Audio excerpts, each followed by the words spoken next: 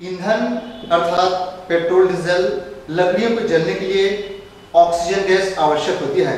इस बात यहाँ पर हम समझेंगे कि इसके लिए सामग्री हमारे पास उपलब्ध है।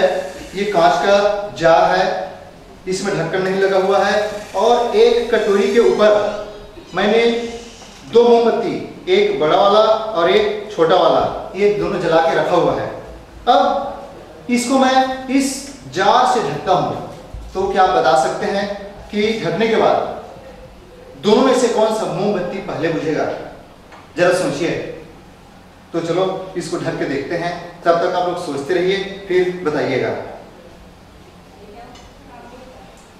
गौर कीजिए।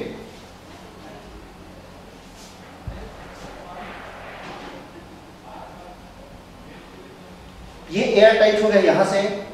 अंदर वायु प्रवेश नहीं कर रही है। अब देखिए ये ऊपर वाला मोमबत्ती बुझा और कुछ देर बाद जो छोटा मोमबत्ती है, नीचे में है, वो बुझ गया। तो इसका क्या कारण हो सकता है?